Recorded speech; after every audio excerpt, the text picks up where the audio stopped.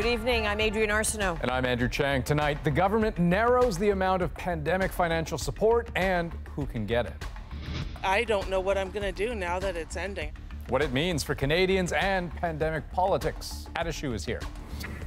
Also tonight, Saskatchewan's deepening ICU crisis. What we're seeing is the system really collapsing. New calls for action before things get even worse. The Queen spends a night in hospital. There's caution and concern. The fact that she was there for a very temporary time and then was apparently back at work today is a very positive sign. And France travels to Yukon to give a Canadian veteran its highest honor. I felt very badly for all the people, France, and Belgium, and Holland. A new medal for long ago valor. This is The National. In the alarming first days of the pandemic, when Canada went into lockdown, federal wage and rent subsidies became a lifeline for many. Now, a year and a half later, the federal government says it is time for that help to shift. So it's ending some broad supports like the Canada Recovery Benefit and starting more targeted ones. The goal to help businesses and workers next through the next phase of the pandemic. So David Cochrane lays out what's in, what's out, and those who critics say are being left behind. The pandemic isn't yet over, but the days of historic pandemic spending are nearing the end. The existing income and business support programs will end on October 23rd. So, ending on Saturday are the Canada Recovery Benefit, the wage subsidy, the rent subsidy. Replacing them on Sunday, the Tourism and Hospitality Recovery Program, which offers wage and rent subsidies of up to 75% to businesses in those sectors who lose at least 40% of their income. And the hardest hit Business Recovery Program, with wage and rent subsidies of up to 50% for other businesses who lose at least 50% of their income. Freeland hopes this is the final aid package. It comes with a price tag of $7.4 billion. That compares to the $289 billion we have spent on income and business supports since the start of the pandemic. But that lower price tag means lower levels of support, with subsidies as low as 10%, and many small businesses on the outside looking in. So a business that has seen their revenues drop by a third is on its own. They don't have any support from Ottawa whatsoever. Well, the government's decided to leave a lot of people in the cold. The New Democrats say the government is scrapping the CERB too soon. There will be income support for people under government imposed lockdowns, but not for anyone else. It's important to have a transition plan, and just folding up shop and walking away isn't a transition plan. The best possible support for a Canadian is actually a job. And that's what these programs are designed to really promote. Freeland calls this the final pivot, saying that with vaccines widely available and lockdowns largely over, it's time to transition from expensive national programs to cheaper, targeted ones. David Cochrane, CBC News, Ottawa. So tonight, those changes are worrying some businesses and workers who are about to have their federal support slashed. And as Jacqueline Hansen shows us, for them, the consequences are serious. Christine Eilot is back to work as an usher at several theaters. Pre pandemic, she worked 45 hours a week. Now she's lucky to get 10. I'm averaging approximately 143.50 a week income. She's been relying on the Canada Recovery Benefit to help pay her basic bills. I don't know what I'm going to do now that it's ending. I'm I'm totally at a loss right now. Data from mid September shows about 800,000 Canadians still receiving the CRB. That's down from more than 1.2 million in January. Now, Canadians will only be eligible for support if their work is affected by a public health lockdown. We're now in a new phase, one that is very different from the darkest days in our fight against COVID. As of September, all the jobs lost at the start of the pandemic have been gained back. But compared to February 2020, more Canadians are working fewer hours, and the number of long term unemployed has also jumped. The pandemic isn't over. This economist says cutting off support for individuals isn't the answer. The focus right now has to be on creating jobs, not on reinstilling some kind of tough love work ethic. Uh, it's not the work ethic that's the problem. It's a shortage of jobs and a shortage of hours. But the new targeted business support also announced today isn't going to help this chain of 27 restaurants bring back more workers. We can't afford to be able to hire them back. Revenue is down 30% compared to two years ago, but the new tourism support, which includes restaurants, requires a drop of 40. We are likely to have to close probably between three and five of our restaurants. Ilott is hopeful that eventually, as restrictions lift, her hours will increase and she can go back to fully supporting herself. I love what I do. I love our customers. I love my employers. I don't want to leave. Jacqueline Hansen, CBC News, Toronto.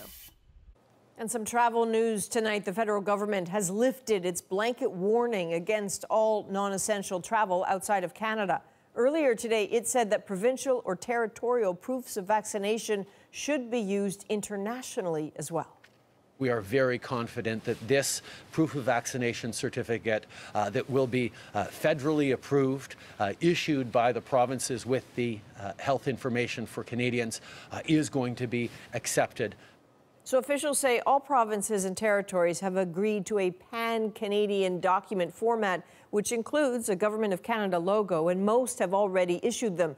It will still be up to foreign governments to accept them or not. And the federal government announced Pfizer will ship 2.9 million doses of COVID 19 vaccine for children as soon as Health Canada approves it for kids aged 5 to 11. That is enough doses for all of them.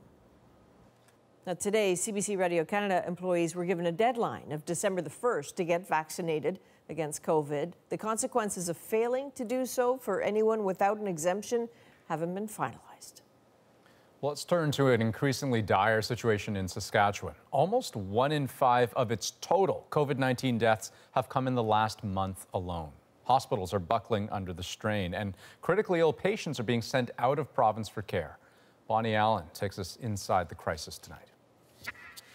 Doctors inside this Saskatoon hospital say it doesn't look like a disaster zone, but with COVID patients stuffed in a laundry room and children's ward, it is one. ICU Dr. Jeremy Katulka is on his first day off in a month. You worry that you start to slip and miss things and, and make mistakes that, that could harm patients. So that's really, that's the worst of it for me. Three of Katulka's patients were sent to Ontario this week, relieving some pressure, but not enough. There are 76 COVID patients in Saskatchewan ICUs. New modeling suggests that could more than triple by January if there are no additional public health measures or vaccine boosters. I am really deeply concerned for the citizens of Saskatchewan and what will happen if more public health measures aren't put in place. The president of the Canadian Medical Association says it's time to stop asking the government nicely. I think what we're seeing is the system in Saskatchewan really collapsing. I have no shame in pleading to the public that we've gone so far. Saskatchewan's chief medical health officer broke down in tears yesterday, but also came under fire over whether he has recommended private gathering limits. The government won't implement them. New cases seem to be trending down, but testing has dropped too. I think it's really uh, somewhat nonsensical that we have a province that is really the epicenter of COVID 19 in the nation right now, have some of the um, lowest level of public health restrictions. The situation is unsafe in the ICUs right now with the number of patients we're seeing, and we're not able to offer necessary health services like surgeries. Saskatchewan has already sent six ICU patients to Ontario and today confirmed it will send another three by Sunday. The province has also asked the federal government to send healthcare workers. Bonnie Allen, CBC News, Meadow Lake, Saskatchewan. A new warning today about COVID 19. The World Health Organization said the pandemic will drag on much longer than it needs to, well into 2022 if poorer countries aren't provided with more vaccine and fast. To have the vaccines available in one half of the world and yet to deny them to the other half of the world is one of the greatest international public policy failures imaginable. The WHO is calling on the world's richest countries to immediately live up to their vaccine donation commitments. More than a billion doses had been pledged to developing countries, but just an eighth of that has been delivered. In wealthy nations, the concern isn't a lack of vaccines, but the resumption of pre pandemic behavior. Take the surge of cases in the UK. More than 50,000 new infections announced just today, the most in months. As Margaret Evans reports, even that grim record is not enough to trigger change. How do you learn to live with a virus when it's still claiming lives? It's a question many in Britain are asking after the government rejected calls from scientists and health bodies to reintroduce COVID measures like wearing masks indoors. The UK Health Minister says the strategy is to build a vaccine wall, encouraging those eligible to get booster shots. We're looking closely at the data, and we won't be implementing our Plan B of contingency measures at this point. Critics are asking if not now, then when? Hospitalisations are increasing, deaths are increasing, almost a thousand people a week. Susan Michie is part of a government advisory body speaking here personally. I would say it's a failure of leadership. Uh, what has happened time and time again is one rule for us and one rule for you. So we're having leading ministers today saying, oh no, we're not going to be wearing masks indoors in crowded places because we all know each other. The UK is an outlier compared to its former partners in the European Union. On average, there are nearly 45,000 new COVID infections here every day. Compare that to France, where the number is less than 5,000. Earlier this month, a British parliamentary report said that delays in acting early on resulted in tens of thousands of preventable deaths. Another kind of wall, this one filled with hearts dedicated to those who've died of COVID 19. Sophia Na lost her father in February. We didn't learn from our mistakes the first time um, after the first wave, and had we done that, I really believe my dad would still be alive. Her fear now is that history will repeat. Margaret Evans, CBC News, London. Well, a man has been charged in the UK in the killing of Sir David Amess. The British MP was stabbed to death while meeting voters last week. A 25 year old appeared in court today on charges of murder and of preparing a terrorist act. Prosecutors told the court he was an ISIS supporter who, for years, had planned to kill an MP.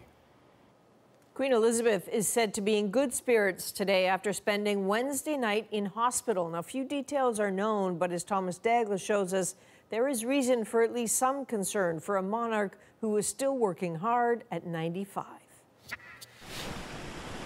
Back between the walls of Windsor Castle, the Queen is spending the night at home after an unpublicized trip to the hospital yesterday and with increasing attention on the 95 year old's health. The fact that she was there for a very temporary time and, and was able to be discharged home and then was apparently back at work today is a very positive sign. A palace spokesperson saying only following medical advice to rest for a few days, the Queen attended hospital on Wednesday afternoon for some preliminary investigations, returning to Windsor Castle at lunchtime today and remains in good spirits. If there are whispers of concern for Elizabeth's health, the family is keeping it to themselves, with Prince Charles today attending a charity event at St. James's Palace. As COVID restrictions ease, the Queen has been carrying out more public duties in person, planting a tree for the cameras, The Wales Act 2017. opening the Welsh Parliament last week, and just this past Tuesday at Windsor Castle, hosting business leaders and smiling all along. It may be that she just overdid it. I think we're going to see more of this. Uh, simply, not so much because the Queen's health may deteriorate, officials have to be more cautious. Bear in mind, though, she has been showing signs of decline, using a walking stick in public, canceling a trip to Northern Ireland on doctor's advice, now an overnight stay at King Edward VII's hospital for the first time in years, the same place her late husband Prince Philip was treated this year. By this afternoon, she was back at her desk and working, just as she has been for a lifetime. A symbol of strength and endurance for generations, the Queen is following doctors' orders just as any 95 year old would. Thomas Daigle, CBC News, Toronto. In Haiti, the leader of the gang police say kidnapped 17 missionaries has threatened to kill them if he doesn't get what he wants. One Canadian and 16 Americans were abducted over the weekend. The gang is demanding 1 million US dollars per person. The missionary group held a news conference earlier with a call for prayer. We are inviting believers from all around the world to join us in praying for our workers, our loved ones, that are being held uh, hostage in Haiti. He also says the Canadian comes from a community in Ontario. When he campaigned to lead Alberta, Jason Kenney targeted foreign funded groups, accusing them of hurting the province's energy industry. After his party won, he commissioned an inquiry to get to the bottom of it. The results were made public today, and critics say it amounts to a drop of oil in the bucket. Julia Wong has the details. They were stern words two years ago from Alberta Premier Jason Kenney. It will serve notice that Alberta will no longer allow hostile interest groups to dictate our economic destiny. The launch of an inquiry to dig up whether and how foreign money may be blocking oil and gas development. The premier on a crusade, even pumping millions into a dedicated war room to fight back against energy critics. Fast forward to the noticeable absence of the premier at the report's release, more than a year late and a million dollars over budget, and without the smoking gun the Alberta government was looking for. The report found $1.3 billion flowed into Canadian based environmental initiatives between 2003 and 2019, but just 4% of that, $54 million, was earmarked for alleged anti energy campaigns. Today, Alberta's energy minister stood firm. We've been put at a competitive disadvantage because of these foreign funded campaigns, and I'm not okay with it, and I don't think Albertans are okay with that. But one environmental law expert says that outrage is unwarranted. There's just a real, like, in, irreconcilable tension between what the government would like the report to stand for and what it actually stands for. Environmental organization EcoJustice says Kenney invested a lot of time and rhetoric into an anti Alberta narrative, but ended up with a report that found no wrongdoing. At the end of the day, what was the point? All we can say again that it was a waste of time. As for what's next for the report, that is unclear. But one thing that's not, it's another blow for an already embattled premier. Julia Wong, CBC News, Edmonton. Recreational cannabis use was legalized three years ago now, and since then, one of its properties, CBD, has exploded in popularity. Unlike THC, it does not get you high, and it can be found in everything from bath bombs to dog treats. But our colleagues at Marketplace discovered hundreds of CBD products being sold illegally. Here's Stephen D'Souza. And then we do have tinctures, which are like oil droppers for stress, anxiety, insomnia. They operate right out in the open, unlicensed stores selling CBD or cannabidiol, a cannabis extract that's touted as a wonder drug that some promise can heal without getting you high. So whatever your body needs, whatever the situation is, CBD will help that. It's like it can do anything, really. It's kind of like a superpower almost. But as our marketplace hidden camera investigation shows, the products they're selling online and in stores and the health claims they're making are all illegal. And experts worry mislabeled ingredients and possible contaminants could be putting Canadians at risk. Canadians are buying these products, and in the absence of evidence, they are going by marketing claims. And that's a real problem. CBD is legal in Canada, but here, unlike the US, CBD is a controlled substance. That means only government licensed retailers can legally sell it. That hasn't stopped the sale of illicit products, everything from oils and creams to gummies and pet products. And because CBD is a controlled substance, researchers, even Marketplace, can't legally test them. U.S. researchers found many similar products mislabeled or containing undisclosed THC. These products can be acquired by anyone in Canada with an internet connection and a, uh, you know, a credit card, but you can't actually test what all these people are using, which seems very counterintuitive. While CBD does show promise for treating a host of conditions, experts say the price does add up, and more study is needed, including how CBD interacts with other drugs like opioids and blood thinners. It is not cheap, and let's remember there's no utopia. I would say maybe one in three individuals might find benefit from this. In a statement to Marketplace, Health Canada wouldn't say if they'll remove CBD from the list of controlled substances. They said they are reviewing the laws around cannabis, but a report won't come until about 2023. Stephen D'Souza, CBC News, Toronto. And you can tune in tomorrow night for the full results of Marketplace's investigation. That's at 8 p.m., 8.30 in Newfoundland on CBC Television and GEM. Well, Donald Trump is launching a social media platform to compete against the tech giants that banned him. Coming up, the stock price is soaring, but Trump has tried this before. Plus, a fight is brewing over vaccine mandates, this time among MPs. There are people out there who think that just because they are members of parliament, they do not need to keep themselves, their loved ones, or their constituents safe. Rosie and At Issue are here with that and their thoughts on the upcoming cabinet. And. The winning rendition. We'll tell you about the Canadian who received a prestigious award playing one of the greats. We're back in two.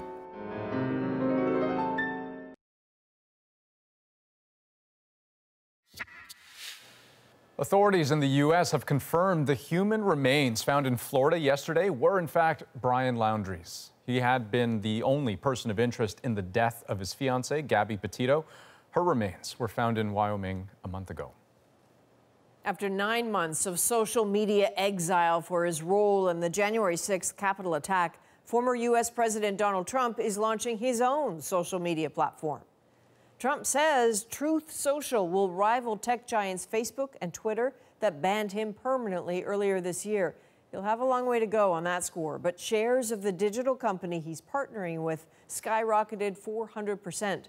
The announcement came just before Congress voted to approve criminal contempt charges against Trump's former advisor, Steve Bannon, for defying a subpoena from the January 6th committee. The yeas are 229, the nays are 202. The resolution is adopted.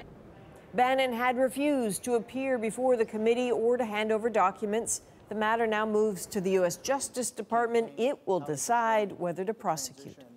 Well, every year the number of Canadian veterans of the Second World War gets smaller, but gratitude for their courage lives on here and abroad. In fact, France is determined to find every living Canadian veteran who fought on its shores and to thank them in person. This week, they located one of Yukon's only living veterans. Anna Desmarais was there. At just 20 years old, Lance Corporal Joseph Novak was willing to make the ultimate sacrifice. And now, decades later, France's highest honor is pinned to his chest by a representative of France. With the powers invested in me, I knight you with the Legion of Honor. It's my great pleasure and it's a great honor for me.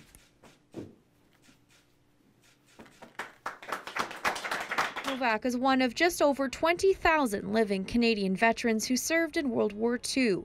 He landed on Juno Beach a few days after D Day and saw the fighting on the front lines of the Battle of Normandy.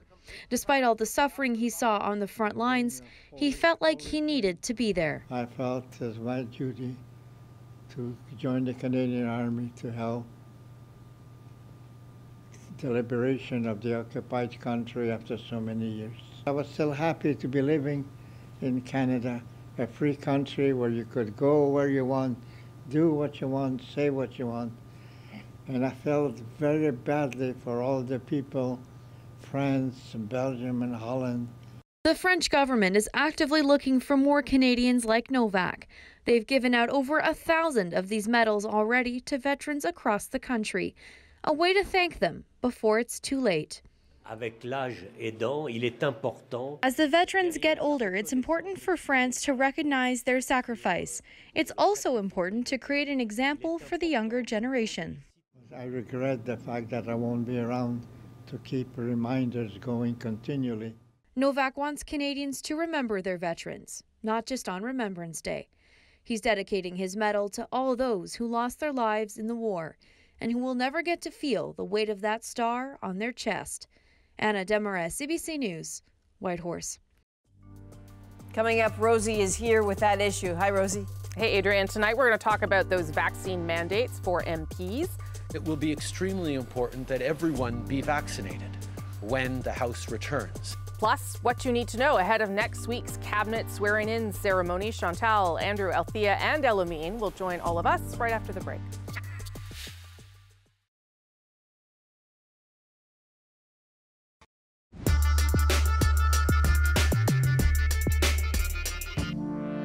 Federal government is ending several of its pandemic support programs in just a few days, but billions will be spent on new, more targeted measures. Our emergency support measures were always designed to be temporary, to get us through the crisis. Thankfully, as the Prime Minister has just pointed out, we're now in a new phase. A new phase where vaccine passports and mandates are a reality, including for MPs. Unprecedented measures being unveiled just days before a new cabinet is sworn in. So, is this the right kind of financial transition plan? And what message does next week's cabinet need to send? It's Thursday. I'm here with At Issue. Chantal Hébert, Andrew Coyne, Althea Raj, and Elamin Abdelmahmoud. Nice to see everybody. Let, us start with um, today's announcement. These supports sort of winding down, transforming, becoming more targeted. Andrew, I'll start with you. Is this what had to be done? Are they doing it the right way? Yeah, I mean, it's time. Uh, I might even say about time. We're more than 18 months from the peak of the pandemic. Uh, employment is back to its pre-pandemic levels. Um, and we've got to, to both in the reality and in the signals that we send show that we're coming to grips with the size of the deficit and the debt, the accumulating debt, uh, and indeed the money creation that the Bank of Canada purchases that have been going to finance that. I mean, it's coincidental perhaps that it comes out right after we hear that inflation has, has jumped to 4.4 percent. Uh, but we need to be both, in, as I say, in substance and in, and in perception, showing that we're going to get control of our deficits and debts and, and keep inflation under control. And this is part of, it seems to be part of that as well. Um, are, are, you surprised, Chantal, that it took this long to get to this point? Because there were, I mean, there are businesses, yes, calling for it to continue, but there are also businesses saying we can't find anyone to work for us. Uh, no, I am not surprised. And what is not a coincidence is that it comes after the prime minister has had a talk with the opposition leaders. Uh, because whatever you do, you do want to be on some fairly consensual ground, uh, and he is. Uh, the, the Conservatives, uh, the Bloc Québécois, had both called for a more targeted approach, uh, and that is what they're getting.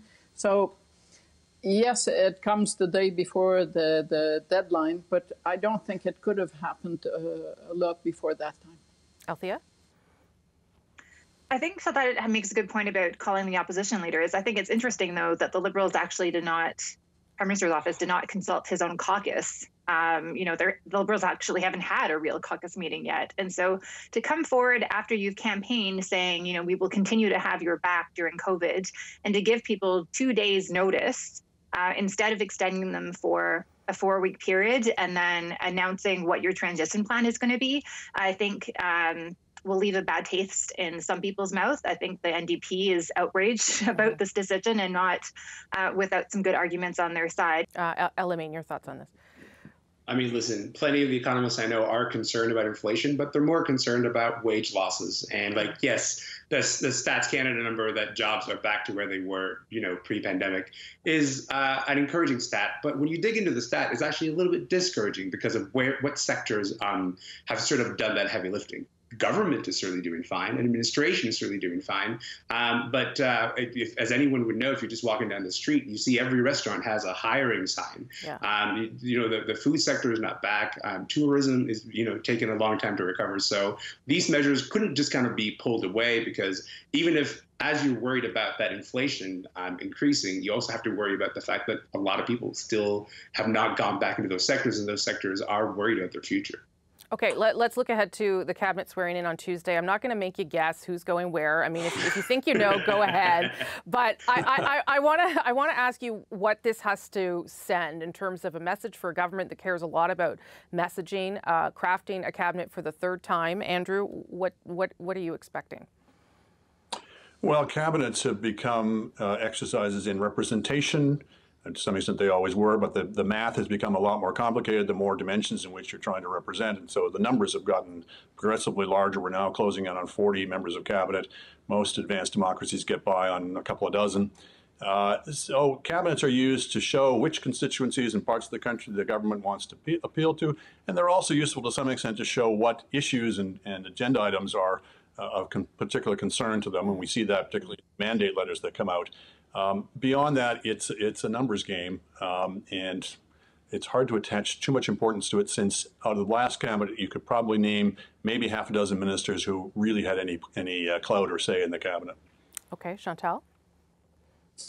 Well, uh, the point of this cabinet making is it tells you how important issues that uh, look important from the outside are to the prime minister. And I guess on that score, all eyes will be on who becomes the defense minister, for instance. Mm-hmm. Uh, and if you believe, uh, as many of us do, that this may be Justin Trudeau's last um, term, then you start looking at uh, where people who might want to make a difference good enough to give them a leadership platform end up in this shuffle. I've noticed that uh, it's there's a Batman and Robin act on uh, Chrystia Freeland and Justin Trudeau.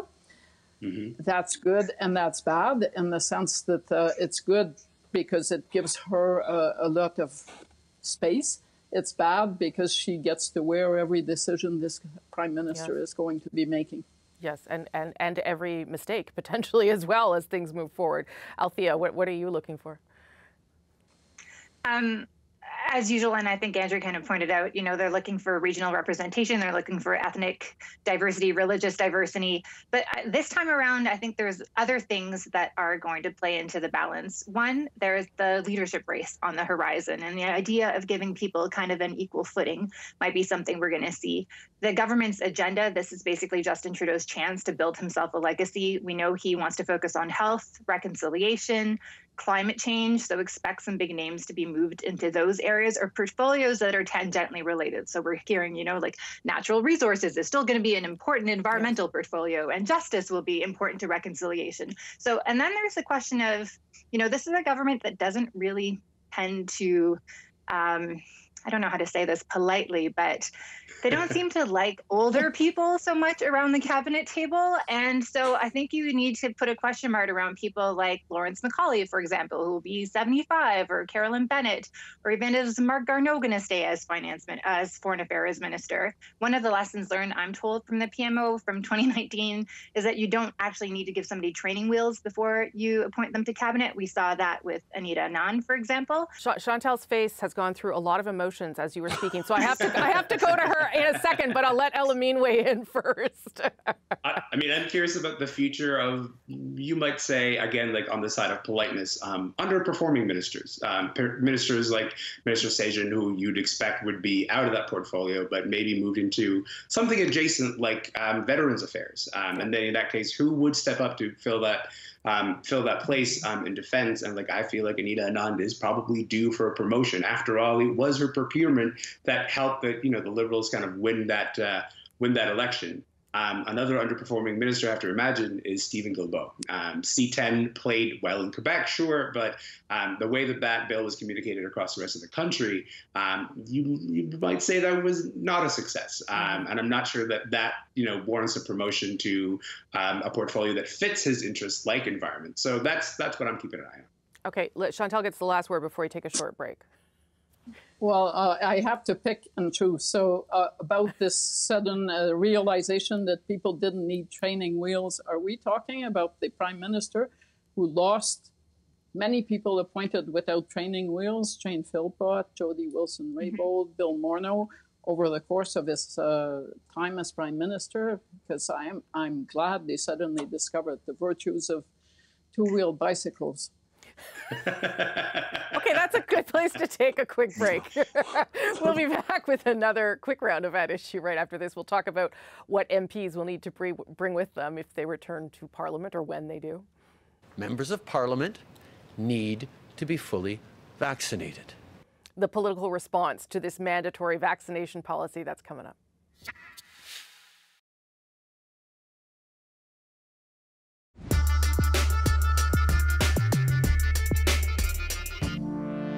It is puzzling to me that there are people out there who think that just because they are members of parliament, they do not need to keep themselves, their loved ones, or their constituents safe when the vast majority of Canadians have done the right thing. That's the Prime Minister there on the mandatory vaccination policy for MPs, a move the Conservative Party uh, is opposing. So, what happens next? Chantal, Andrew, Althea, and Elamin back for another round. Althea, I'm going to start with you on this one. Um, so, this would come into place uh, when Parliament returns at the end of November. What kind of position does this put the Conservatives in? This is basically a mess for Erin O'Toole. This is an issue that uh, he did not win on during the last election.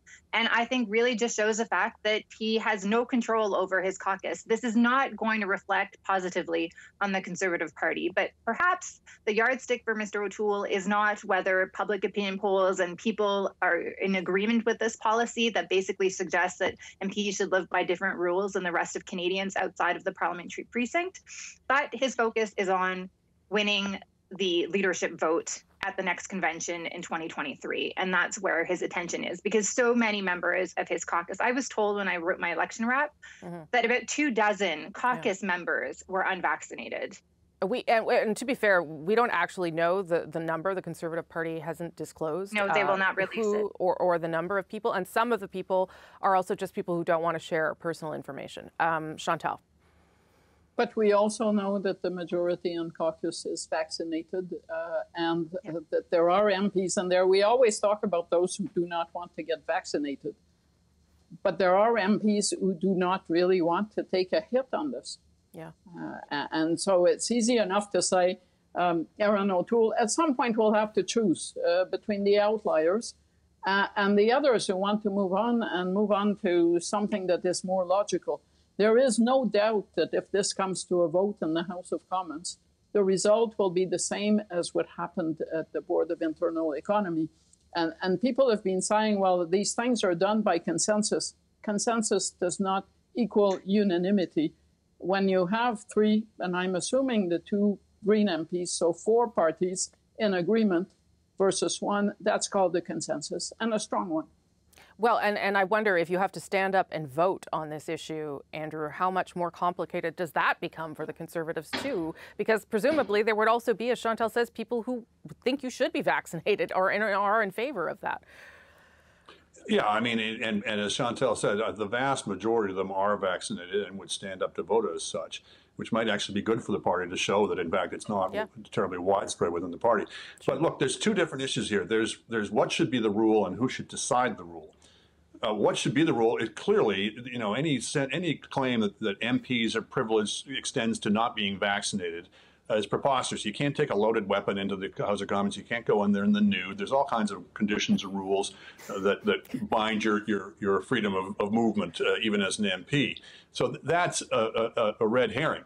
I think there's a more legitimate issue of who should decide, and sure. and you know it, it, should probably be by a vote of MPs. I'm not sure this was the hill to die on on that particular issue. Uh, uh it's going to end up with the same result as it would have been with the Board of Internal Economy, and as the point has been made, uh, only to the, the only thing that's been achieved is to make the party look uh, foolish.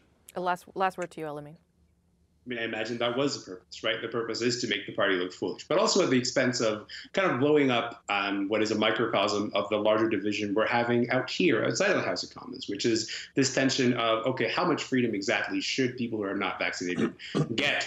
And increasingly, it seems like we're polarizing in this country into an answer of actually not much. Um, I just wonder about the long term consequences of the prime minister hitting that polarization note. He hit it really hard during the election campaign. You thought that maybe he'd ease off of it by now, but no, they're going sort of full throttle on it. Um, and maybe they're guessing that this issue is not going to go away anytime soon, but it just seems like there is a cost eventually to sort of harvesting all of this uh, polarization and resentment. Okay, got to leave it there. Thank you to all four of you. You will all be back on Tuesday a couple of times through the special and then uh, that night on the National too. Appreciate it. And with that, now I'll throw things back to Adrienne and Andrew in Toronto. Okay, thanks very much, Rosie. Coming up on the National, we remember a legend of the Stratford stage. I'll break my staff, bury it certain fathoms in the earth. We'll hear from friends who joined her on stage over the decades, plus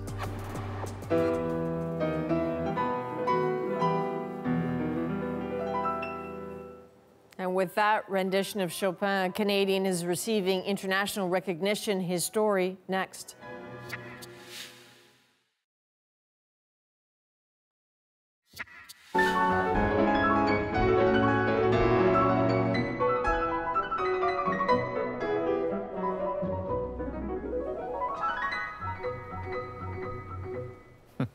An incredible performance by Canadian Bruce Liu at Warsaw's famed Frederic Chopin piano competition last night.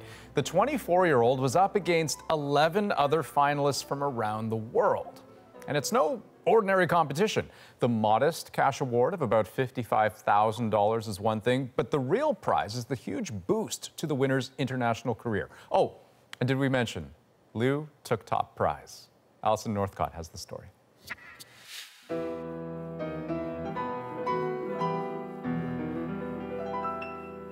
Bruce Xiaoyu Liu's playing has been described as elegant and jaw dropping, and it's earned him first prize in one of the world's most prestigious piano competitions. The winner of the competition is Bruce Xiaoyu Liu, Canada.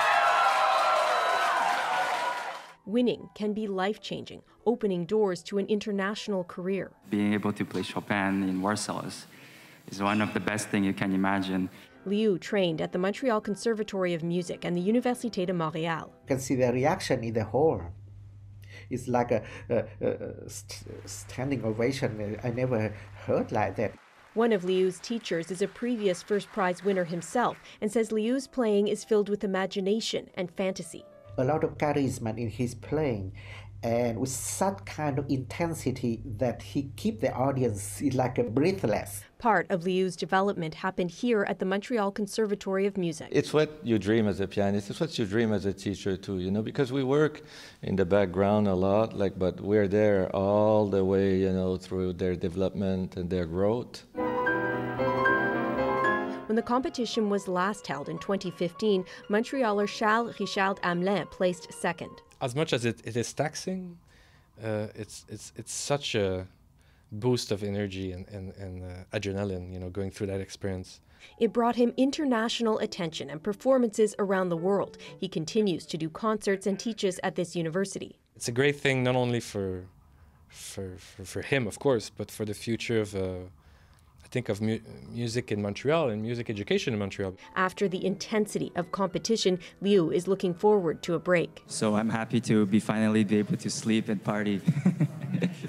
and what an accomplishment he has to celebrate. Alison Northcott, CBC News, Montreal. Lovely. Next on the National, we pay tribute to a Canadian theatre legend. You're going to go away and be a soldier. Well, you can go to hell. Remembering Martha Henry's extraordinary gifts in our moment tonight.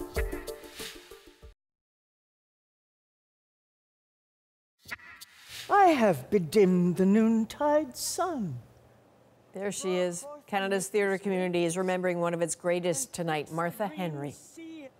After enduring the trials and pain of cancer, the 83 year old died early this morning in Stratford, Ontario. Tonight, her legacy is our moment. Born in Detroit, Henry made Canadian theatre her home and became a giant in the industry. I'll break my staff, bury it certain fathoms in the earth. Martha Henry was a mainstay at Ontario's Stratford Festival, where she made her very first appearance in 1962. She illuminated every character she inhabited.